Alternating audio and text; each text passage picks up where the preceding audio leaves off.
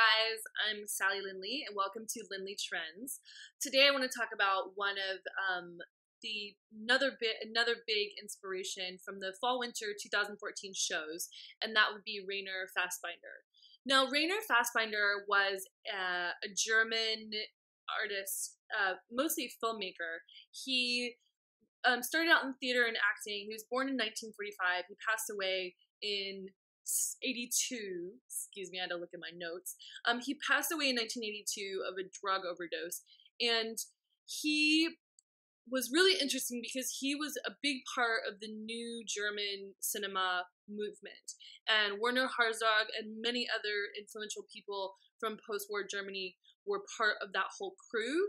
And I just want to take a look at his work because he was one of the most influential people in the Prada collection this season. So, you know, looking at the fact that Miuccia Prada mentioned that his movie, The Tear, The Bitter Tears of Petra von Kant, was her main inspiration. I feel like it's worth, definitely worth a deep dive into all of Fassbinder's work to get some inspiration for Lyndley Trends. So, looking at um, Fassbinder, his films are just completely incredible. He made over 40 films in 15 years. He was a freaking maniac and he kind of redefined the pace and the way that you can make films in this post war German era. And I think what was interesting is his whole crew, from technical to actors to, you know, production, everybody was what he considered his surrogate family. So he kind of created these relationships of all these people around him.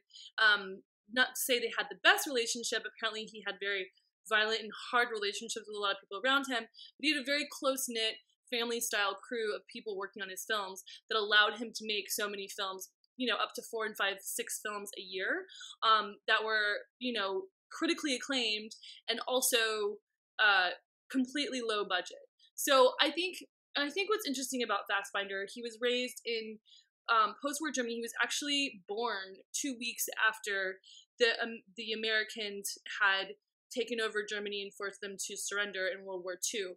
So he was definitely living inside of a culture where the Germany was Germany was trying to, you know, find an identity again in a culture out, out after the war. So, you know, and Fassbinder grew up in what would definitely be considered a broken home.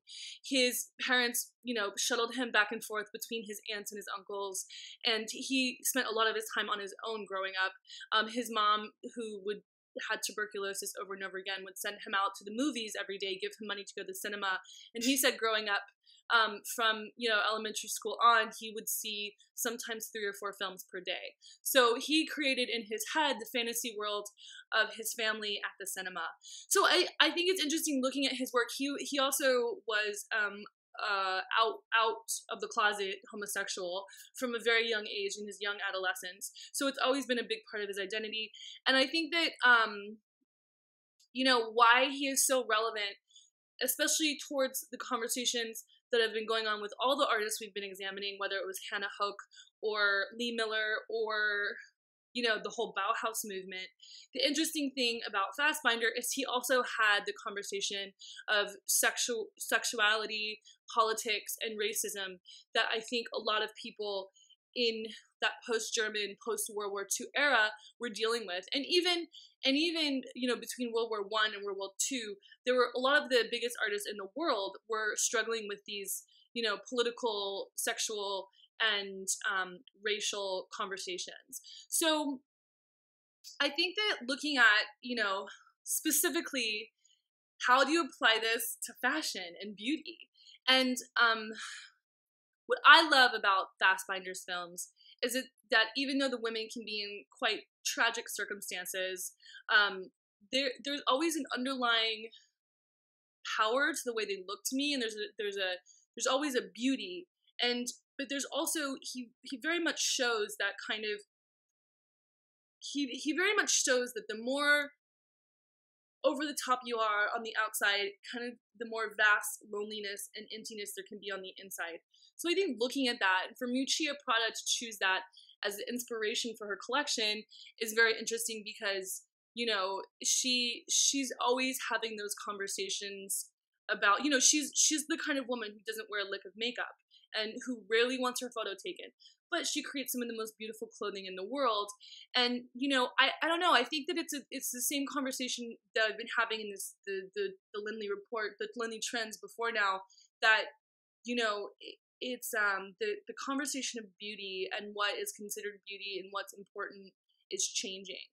And looking at the Fassbinder film specifically, The Better Tears of Patricia Von Kent, the the the plot line is um, a fashion designer who kind of is kind of starting to lose her mind from a second divorce and falls in love with one of her models who's a working class girl.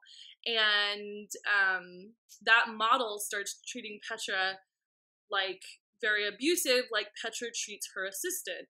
So it's interesting for you know Miuccia Prada to choose a character that's a fashion designer. It's um the the clothing is the clothing is that 70 that late 70s vibe which i love i love but also there's very much a flo- throwback to the 30s and 40s which of course i love and i always love it when the 70s and 80s did throwbacks to that generation of the 30s and 40s i think it added some weird weird surrealness to the clothing you can definitely see the 70s inspiration inside of the Prada collection when you look at it next to the Fassbinder work.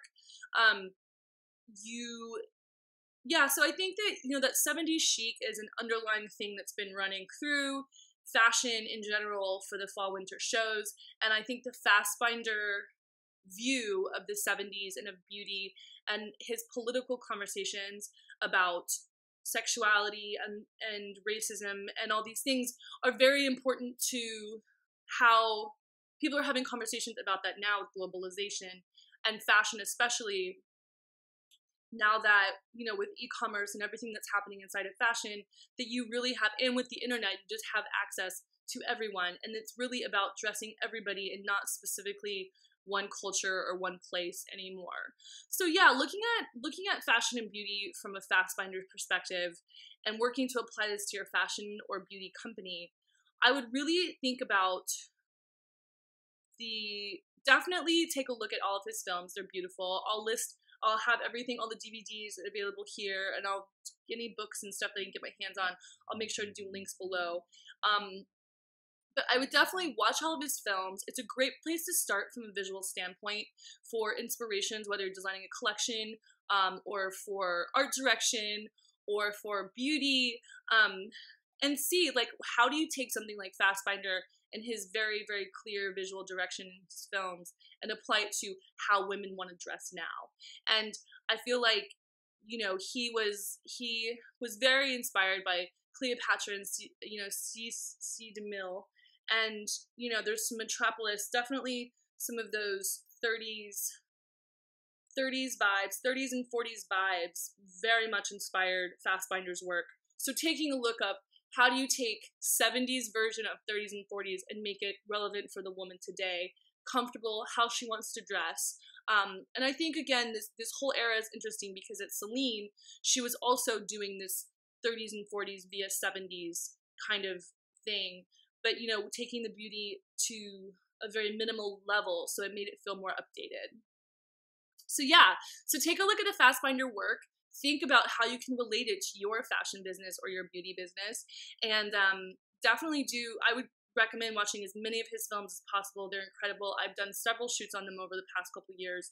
He's always been a big inspiration to me and a lot of my photographer friends. So I'm happy to bring you Fassbinder's work here. So check it out, and I will see you guys in the next episode of Lyndley Trends.